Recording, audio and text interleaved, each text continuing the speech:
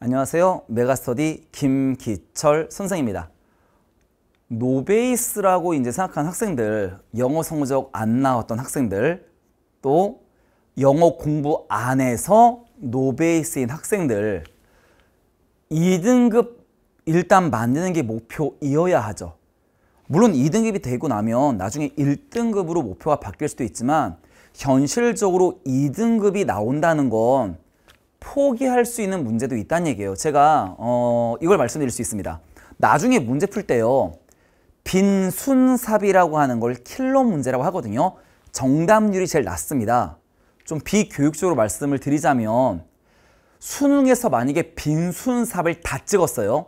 근데 나머지는 맞았다고 할게요. 2등급이 나옵니다. 무슨 말이에요? 2등급이 일단 나오게 만들려면 필요한 요소들이 있다는 얘기예요.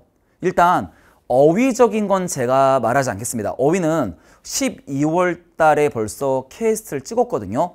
그러니까 어휘에 대한 내용 케이스 꼭 보시면 공부량, 공부하는 방법까지 설명드렸으니까 어휘는 이제 빼고요. 크게 총 3단계입니다. 정말로 선생님 저 지금 5등급이거든요. 저 지금 6등급이거든요. 라고 할 때 그러니까 어휘적인 건 어쨌거나 수능 전날까지도 외울 겁니다. 어휘는 빼고요. 총 3단계가 된다면 자 약속드립니다. 반드시 이가 나올 겁니다. 왜? 절평이거든요.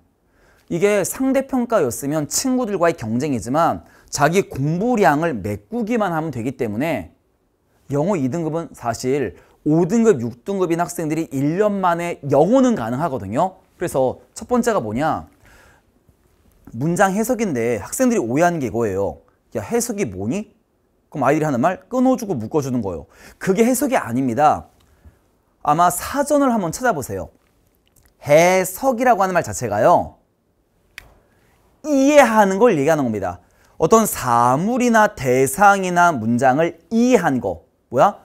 우리말로 토시 하나 안 빼고 그대로 옮긴 게 해석이 아니고요. 필자가 뭘 말하는지 이해한 게 해석이에요. 그러려면 필요한 첫 번째 요소가 의미 단위별로 있는 겁니다. 아는 단어 동원해서 대충 읽잖아요. 절대로 노베이스 학생 2등급 안 나와요. 제대로 해석해 순서대로 어순대로 해석한 연습이 필요합니다.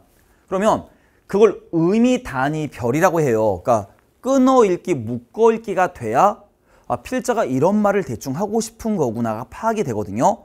읽고 자 끊어 읽기, 묶어 읽기에 구문독해 익히고 체화한다.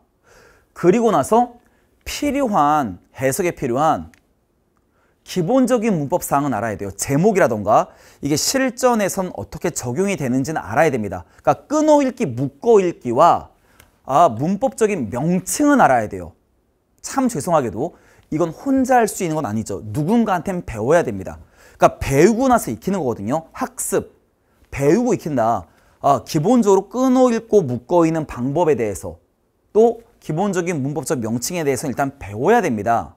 이게 1단계예요. 어, 그러면 자, 장담 드립니다. 이거 얼마나 시간 걸릴 것 같아요? 2주 정도도 안 걸립니다. 끊어 읽고 묶어 있는 건 공식이기 때문에 배운 다음에 익히면 2주 안에 몸에 붙어요. 물론 단어 모르는 게 나오죠. 단어 나중에 복습을 하면 되는 거고요. 끊어 읽기, 묶어 읽기는 2주 안에 웬만한 학생들이 다 할 수 있습니다. 5등급 학생 기준으로 지금 설명드리는 겁니다. 이거 2주 안에 끝날 수 있는 거구나. 이 단계가 끝나면 2단계. 그러니까 끊어 읽기, 묶어 읽기가 됐으면 그 다음에 뭐냐? 키워드를 잡으면서 이해하는 겁니다. 아, 필자가 정말로 이 문장에서 의미하는 건 뭐구나. 줄거리 따라가는 거예요. 제가 국어하고 자주 비유하는데요.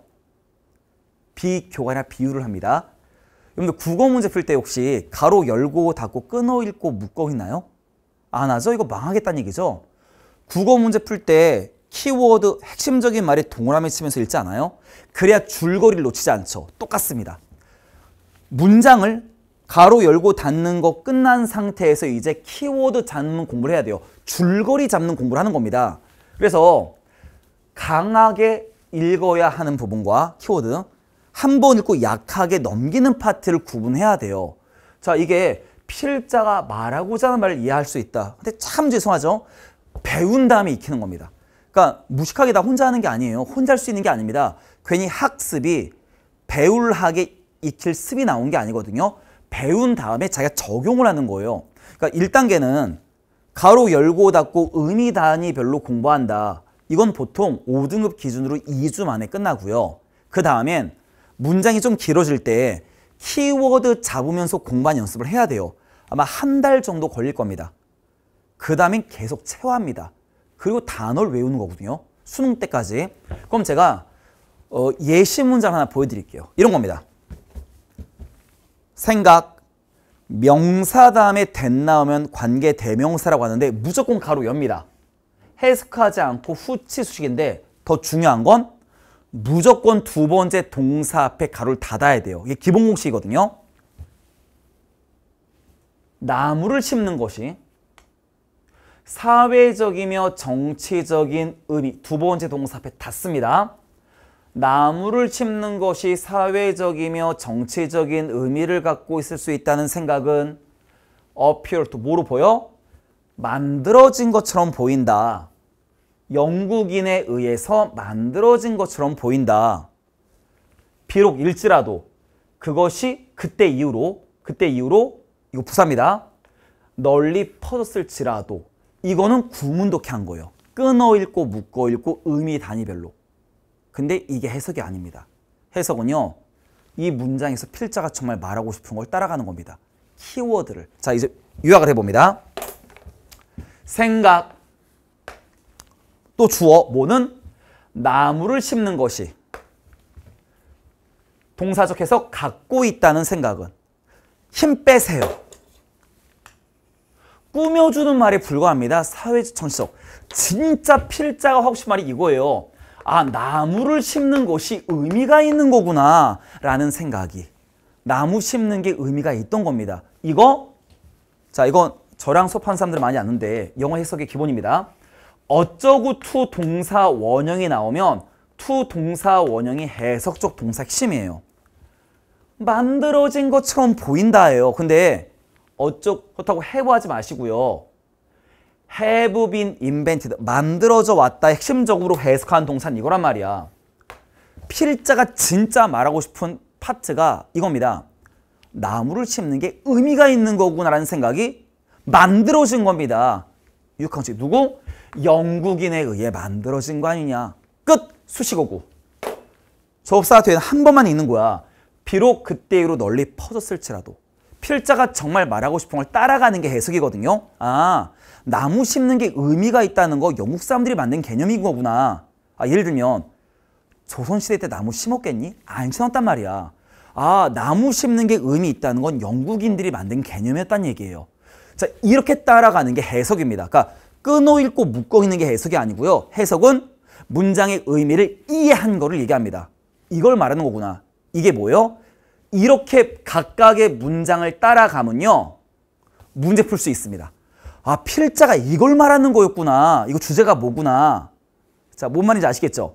아, 요거 아마 한 달쯤 걸릴 겁니다. 강약 주면서 있는 연습까지 하는데 물론 단어는 나중에 외우면 되는 거고 나중이라는 게 또 수능 끝나고 아니에요. 수능 전까지 계속 외우는 거고요. 이게 2단계. 그럼 마지막 3단계가 뭐냐? 제발 물어본 것만 대답해라. 물어본 것만 대답해라. 이게 뭐냐면 여러분들 이런 말 많이 들어보죠. 지문 안에 근거 있다는 말 들어본 적 있지 않아요? 그거예요. 근거로 푸는 겁니다. 문제 풀 때는. 그러니까 바로 앞에서 배운 내용처럼 문장 문장을 키워드 잡으면서 읽으면 전체 줄거리를 놓치지 않게 돼요. 전체에서 말하고 싶은 건 이거구나. 근데 이거예요. 대의 파악은요. 주제가 뭐니를 물어보는 거예요. 그럼 간단합니다. 문제를 풀 때는요. 야, 글 안에 주제 하나예요. 평균적으로 영어는 여섯 문장으로 구성되어 있거든요.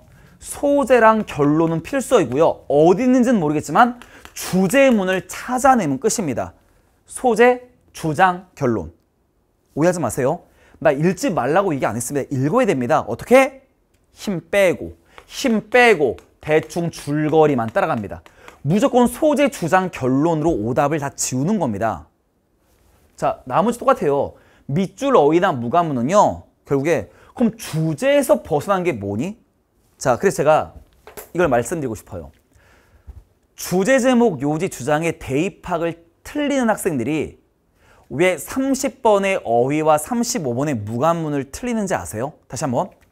대입학을 틀린 학생들은 30번과 35번을 보통 자주 틀립니다. 주제가 뭐니?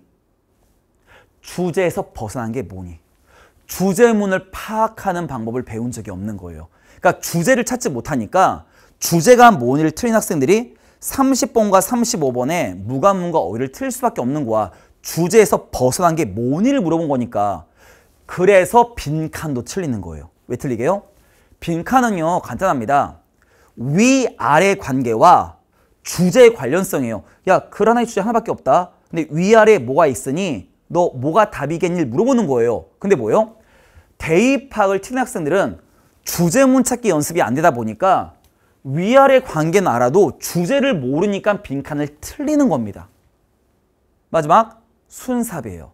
이건 완전 다른 문제예요. 왜 이렇게 안 풀죠?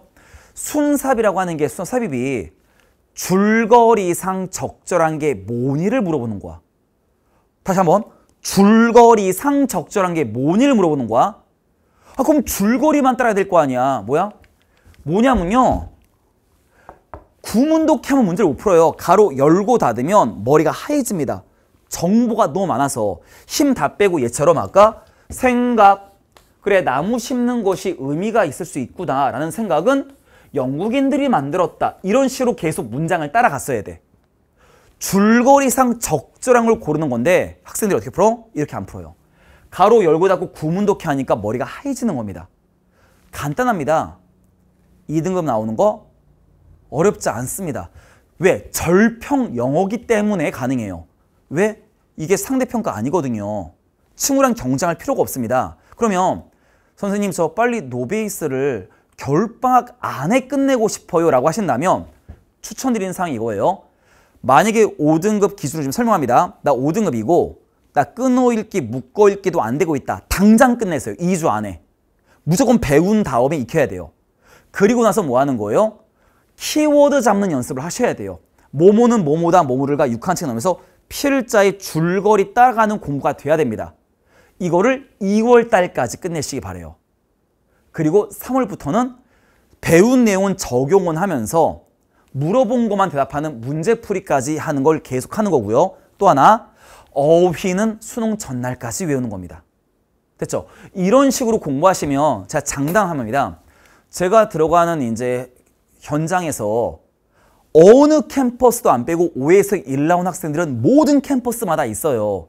이게 절평이기 때문에 가능하거든요. 그래서 순서대로 공부하시고 선생님 저 그래도 저 궁금한 거 있습니다 라고 하시면 저희 Q&A 오셔서 자기 상황, 학년, 등급 설명하면 우리 어, 연구팀에서 상세하게 설명 드릴 겁니다. 2등급 누구나 만들 수 있습니다. 너도 할 수 있어. 자, 너도야. 자, 반드시 승리하시기를 바랍니다. 감사합니다.